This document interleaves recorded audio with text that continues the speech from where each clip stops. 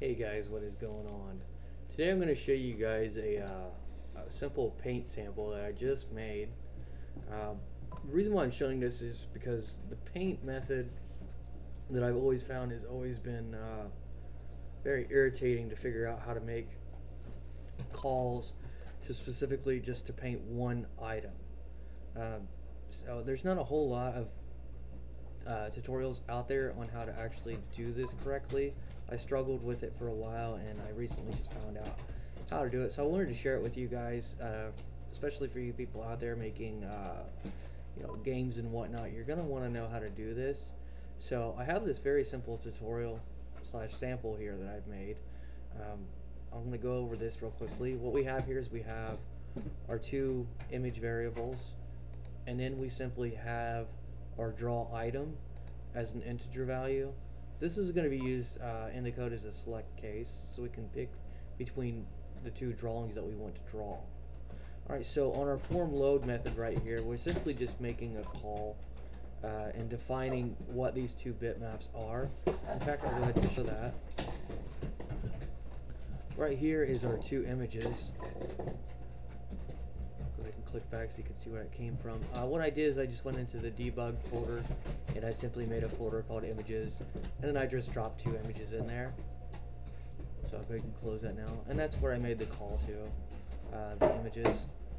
You can use whatever you want. Um, these are just two images that I actually pulled from Ant Farm School, uh, just some test images.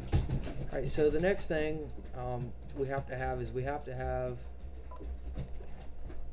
your paint event, which to get your paint event, you just go in here to your load function or your MyBase, scroll down to paint, click on that, and this will come up.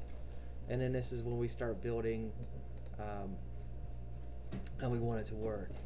Basically what we have here is we're making a select case so we can select between which image we want to draw.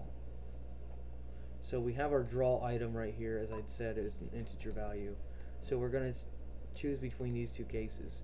Now, as you can see, these two cases right here are subs. They're not actually a part of the actual paint, uh, the private sub. So what we've done here is we simply created the argument of we're defining as paint1 as the name and we're using that byval e as event arguments. So that's pretty much our argument right there. It only takes one argument, which is our paint argument, uh, which will allow us to draw that graphic. Right now, and then the bottom part's pretty self-explanatory.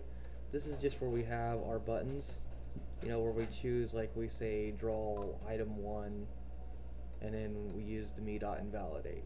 You're going to have to have the me dot invalidate, of course, because you have to tell the form to refresh or to redraw itself. Alright, so let's go ahead and test it out and see if it works. Go ahead and start debugging. Bam.